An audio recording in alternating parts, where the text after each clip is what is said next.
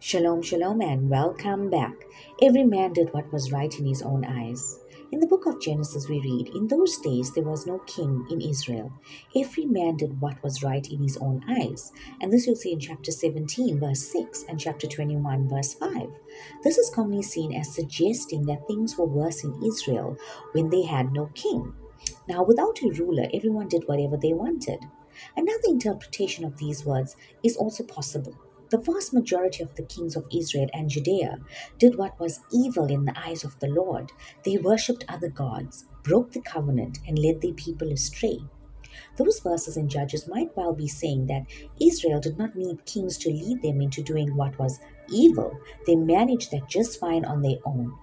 Now, it is a subtle reminder to us as well that as much as we might like to blame others, especially our leaders, for the allowance of the evil, we don't need a scapegoat to blame for evil. We have the person in the mirror to blame. We are all quite adept of, at doing what is right in our own eyes without some leader guiding us into sin. Therefore, we pray for mercy. We repent, confess, and ask the Lord to give us humble and contrite hearts, to remove our hearts of stone and give us hearts of flesh.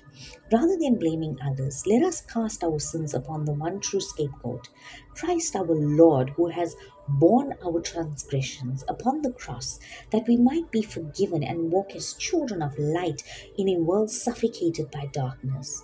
So today we say, Lord, have mercy. Christ, have mercy. Lord, have mercy. Amen. God bless and shalom.